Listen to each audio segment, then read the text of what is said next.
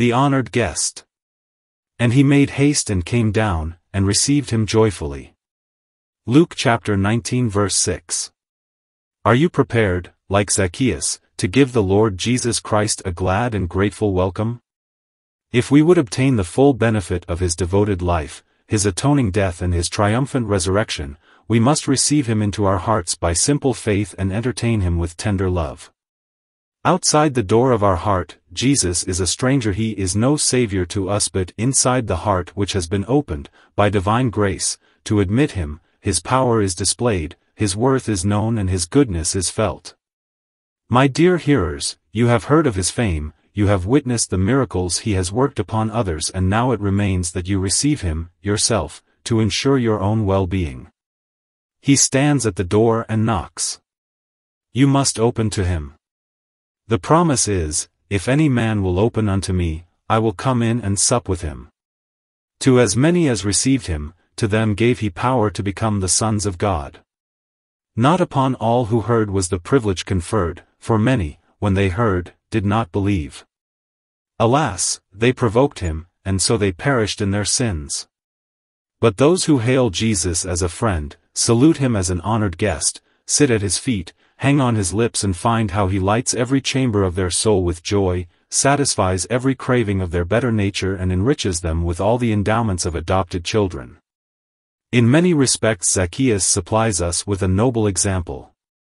He shows us how to receive the Savior. You will observe that he received him speedily. He made haste and came down. It is not always easy to come down from a tree with great speed. He came down, however, as fast as he could. There was no hesitancy in his manner. I dare say his heart was down before his feet. In like manner they who would receive Christ must receive him now. This is not a call or a counsel to be trifled with. The procrastination of Felix, which led him to say, When I have a more convenient season I will send for you, is a very dangerous spirit. Let those who talked as Felix talked beware lest they perish as Felix perished. Today, if you will hear his voice, harden not your hearts. Zacchaeus made haste. They who receive Christ heartily must receive Christ immediately. We notice, too, that Zacchaeus received the Lord obediently. When the Master said, Make haste, he made haste, hardly had he said, Come down, when down he came. If you, my hearers, be likewise willing and obedient, you shall eat of the good of the land. Christ likes us to be obedient to him, though he speaks to us less as a lawgiver than as a Savior and a friend. If we refuse to take his yoke upon us and learn of him, how can we reasonably expect to find rest unto our souls? The words of Jesus must be deeply respected and diligently observed by those who would have him for their rock, their refuge and their hiding place. Let him be your counselor if you want to partake of his redemption. Render allegiance to him as your king if you would enjoy all the grace of his priestly mediation and intercession. There was also a thorough heartiness on the part of Zacchaeus in receiving Christ. He made a great feast for him. Headed not admit him as one who intruded. It was not with cold civility, but with cordial hospitality that he greeted him. I think I see the satisfaction that sparkled in his face. I think I hear the salutation that leaped from his tongue, Come in come in, my gracious Lord. Never did my house entertain so welcome a guest as you are. Would you receive Christ, you must throw the doors of your heart wide open.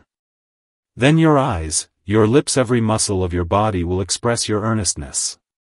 Your whole spirit, soul and strength will be stirred to enthusiasm if you know his worth and feel the honor he confers on you. A man who finds a treasure hid in a field will congratulate himself on his good fortune. A woman, when she embraces her firstborn child, will dote on him with exquisite fondness. Shall no strong emotions prove our sincerity when we receive the Lord of life and glory? And mark you, too, this chief of the publicans received Christ spiritually. His convictions were in keeping with his conduct. When he distributed his goods to the poor, and made a bold confession of his faith before his fellow men, there was proof positive that Christ had not only crossed the threshold of Zacchaeus' house, but had also penetrated the chambers of his heart. Ah, beloved, it is useless to receive Christ nominally, professionally, ceremonially, or with rites and ceremonies, to do him empty homage. By a sincere reception of him who was sent of God, your nature, your disposition and your habits will be transformed from what they were, and conformed to what he is and the change will be conspicuous, for if you are in Christ, and Christ is in you, all will become new. A prominent feature, however, so distinctly stated that it should not be carelessly overlooked was this, that he received him joyfully. This was crowning evidence of the purity of his motives and the artlessness of his actions. In such mirth there could be no guile. Ask now, why do not all men thus receive Jesus Christ joyfully? How is it that some men receive him with such exuberant joy? In what ways do those show their joy who have thus received the Master? Why is it that all men do not receive Christ joyfully? This is our first question. They need him, all of them. There is no difference in this respect. Whether Jews or Gentiles, they are all sold under sin. God has concluded the whole race of man in unbelief. He has shut them all up in condemnation. There is no escape from the universal doom except by the way of the cross. Jesus Christ comes to save comes with pardon in his hands, with messages of love, with tokens of favor yet most men bar the doors of their hearts against him. There is no cry heard in their souls, lift up your head, O you gates. And be you lifted up, you everlasting doors, that the King of glory may come in. Instead thereof, there is a sullen cry, come prejudice. Come unbelief. Come hardness of heart. Come love of sin bar the doors and barricade the gates lest, perhaps, the King of glory should force an entrance. Men treat the Savior as they would treat an invader who attacked their country. They seek to drive him away. They would gladly be rid of him. They cannot endure his presence. No, they can scarcely endure, some of them, to hear about him in the street. Why is this? The chief reason lies in the depravity of man's nature. You never know how bad man is till he comes in contact with the cross. Although the crimes of savage, uncivilized men may appear to you far more heinous than any that are committed in our favored country where just laws are, for the most part, enacted, and opportunities of education generally enjoyed, yet the propensity to do that which is evil in the teeth of a knowledge of that which is good, the subtlety of perverting the truth of God in the clear light of divine revelation, the faithlessness of that foul ingratitude which can betray the most tender friendship, are never so painfully illustrated as in view of the crucified. To despise the name of Jesus, to reject the love of God, to conspire against the ambassador of peace, to take the inhuman, devilish counsel this is the air, let us kill him, this was the last offense of the wicked husbandman in the parable. Nor does the parable exaggerate the treachery. For this is the greatest offense of human nature, when it says, in effect, this is the incarnate God, let us reject him. This is the Word made flesh, let us disgrace him. This is the Father's beloved Son let us betray him. Oh, human nature, how blind must be your heart, how seared your conscience not to see the beauties of Christ. How base must you be to despise the love and tenderness of such a Savior. Were we to select secondary causes, however, which spring out of this deep-seated depravity and discriminate between the various classes of offenders, we would say that many men reject Christ instead of receiving him joyfully out of sheer ignorance. For this ignorance there is not much valid excuse. There are thousands of persons, even in this highly favored, greatly enlightened country, who really do not know what the gospel means. The knowledge of salvation is within their reach, but they have no desire to acquaint themselves with this best of all the sciences. We are all sinners, they say, but they do not know what they mean. In the jargon of general confession, they lose sight of their own personal transgressions. The plan of salvation by a substitute, which is the gist of the whole matter, never dawned on their understanding. They do not know the great truth of God that Jesus took our sins and suffered for us in our place that justice might be satisfied, that mercy might be magnified and that we sinners might be liberated and, therefore, it comes to pass that whoever trusts in Christ is saved. Being ignorant of this, they are still depending upon their own works, merits and professions or they are relying upon their baptism, their confirmation, or their identification with some ecclesiastical system by means of some outward ceremony instead of understanding that salvation is by faith, a thing of the heart and the spirit, and not in the letter. This ignorance of the blessed Saviour prevents many from receiving him joyfully. So was it with the woman of Samaria hence the Saviour said to her, If you had known the gift of God and who it is that speaks to you, you would have asked, and he would have given you living water. Lest you perish through lack of knowledge, brothers and sisters, do entreat the Lord to guide you in the reading of Scripture, and in listening to the exposition of Scripture, that you may get a clear understanding of the way of the Lord. That the soul should be without knowledge is not good, for ignorance is the parent of many infatuations. To refuse attention, to resist evidence, to rebut exhortation in the instance of full many, exhibits a spirit of gross unbelief. They will not believe in Jesus. They will not acknowledge him to be the Son of God they will scarcely believe that the man ever lived who had a right to the homage which his few disciples offered him.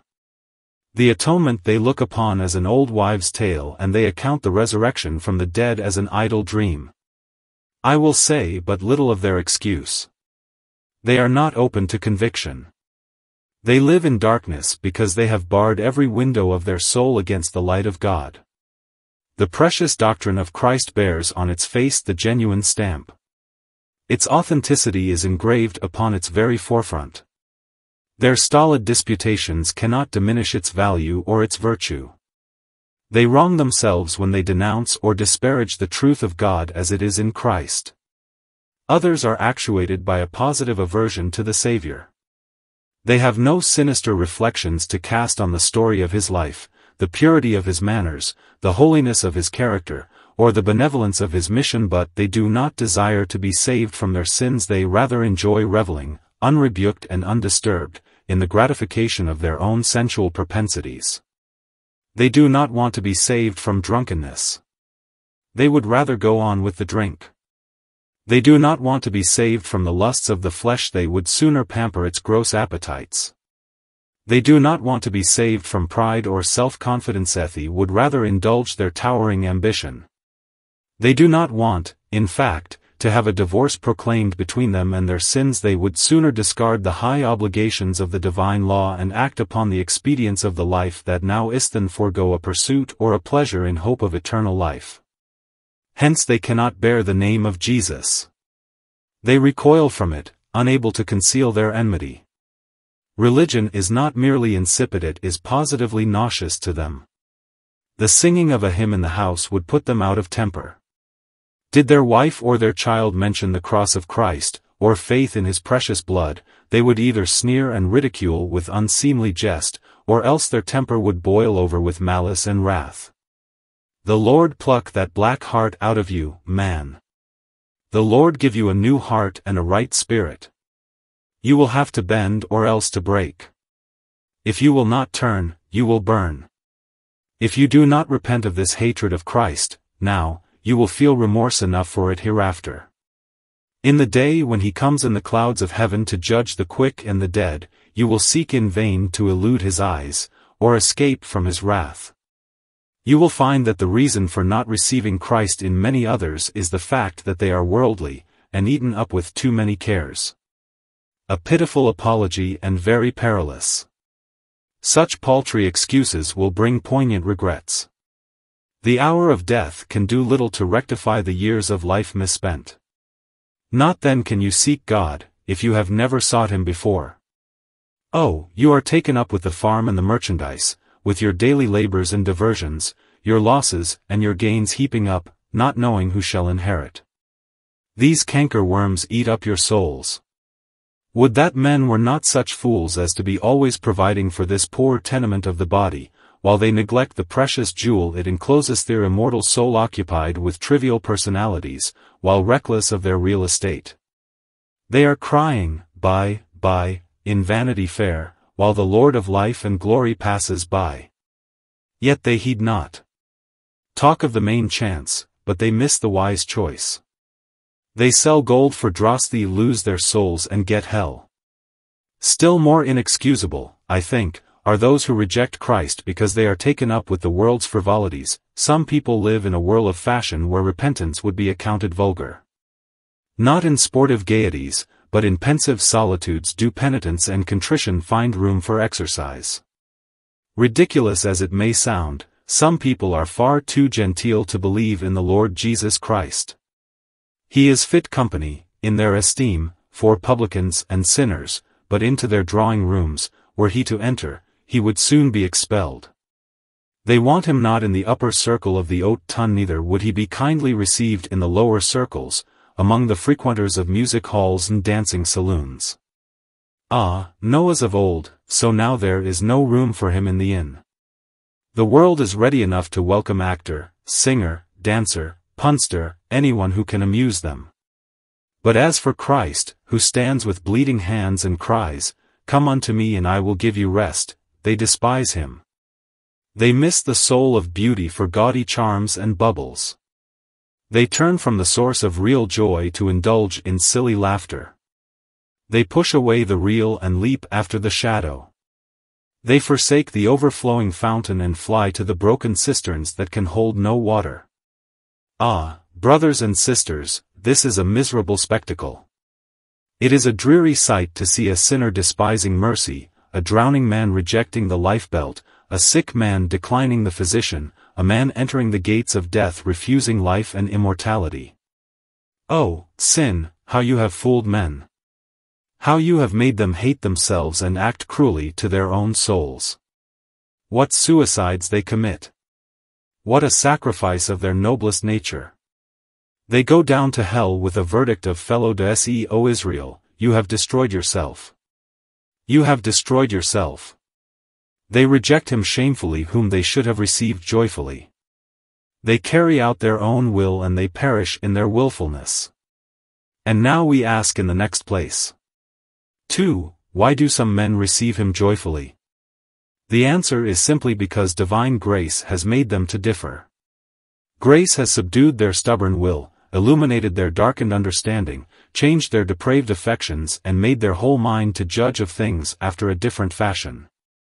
Do not suppose that we who have received Christ were naturally any better disposed to him than others. Oh, no. If, when the seed was sown, we were like the honest and good ground in which it took root, there had been a previous tillage upon our hearts to make them ready. We would not have been found willing had it not been the day of God's power. I think we all unite in saying. 'Twas the same love that spread the feast. That sweetly forced us in else we had still refused to taste. And perished in our sin. As for the reasons and inducements which prompted us to receive Christ joyfully, I may speak very plainly for myself. I received Christ because I could not help it. I was at my wits' ends. I think no man ever flees to Christ for refuge, or seeks shelter in the port of gospel peace until he is quite certain that every other harbor is shut up. We make Christ our last resource. We try everything else. We make grand resolutions to do good works, or to attend gorgeous ceremonies. We try trivial formalities, or paltry superstition anything silliest conceit or the emptiest quackery. We go the round of folly before we discover the path of wisdom. At length I must go to Christ, or else woe is unto me if I win him not. Helpless and hopeless, in sheer distress we cry out, Give me Christ, or else I die. Henceforth he is not merely our choice, but a positive necessity to us to have him as our hourly, daily and eternal portion. Oh, the strait unto which I was brought when I received Christ. It was Christ or death. Salvation by Christ, or damnation without him. I received him because I could not help it. I had no alternative. How many of you are in the same dilemma? How many of you will fly to him in similar destitution?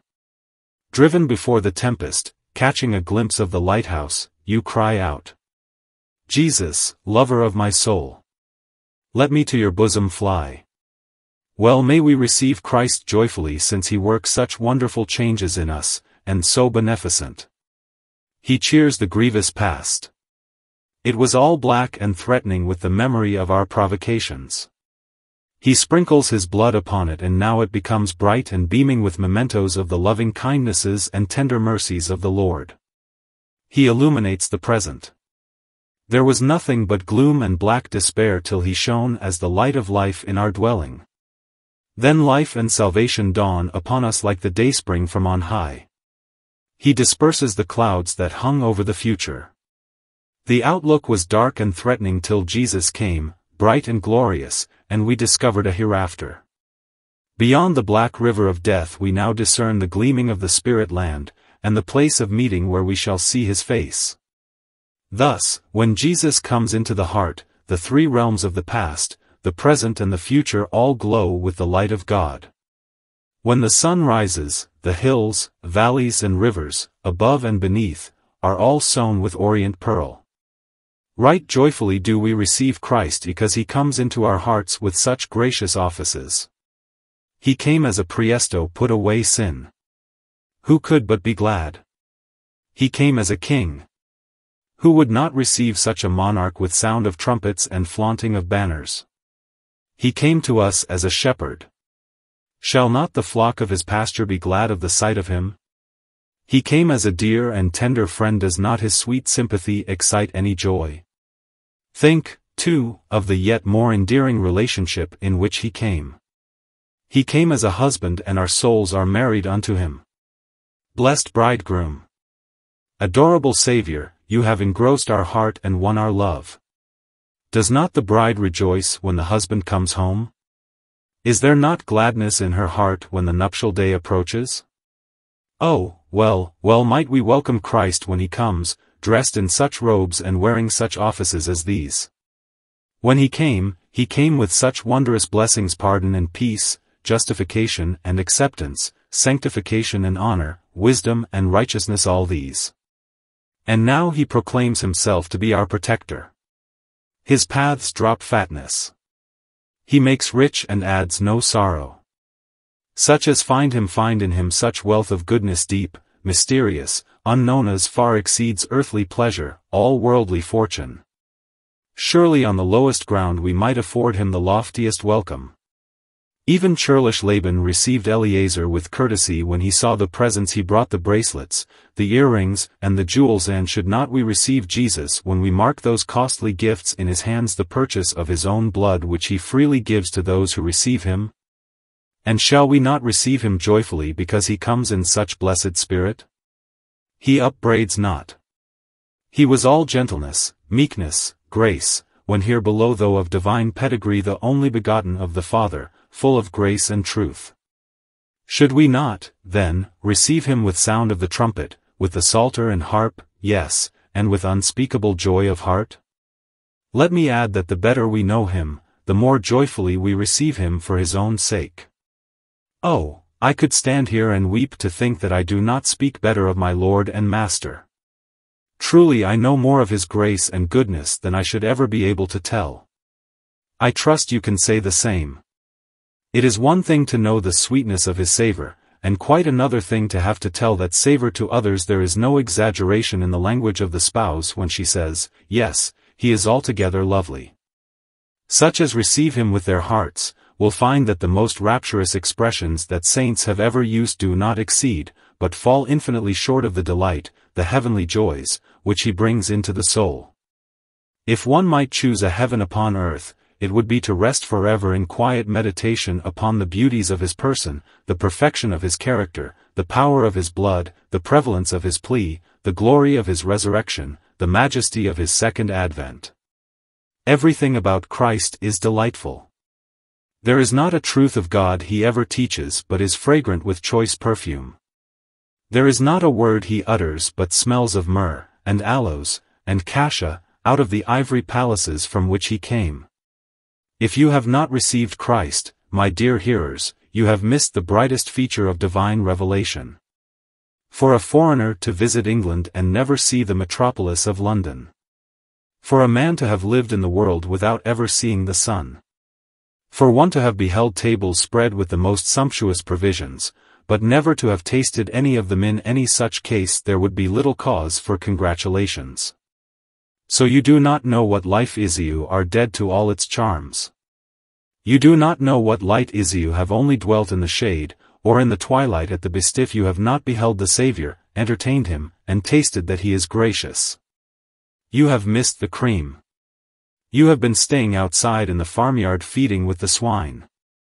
You do not know what the fatted calf is, upon which the children feed at the Father's table. You have been a dog, satisfied with the bones, not knowing the fatness and the marrow of true life. But the Christian, dear friends, finds Christ to be so inconceivably precious, such a fountain of delight, such a river of mercy, that when he receives him, he receives him joyfully and the longer he knows him, the more joyful he is to think that he ever received him at all. And now, such being the reasons why some receive Christ joyfully, let us ask. 3. How do they show it?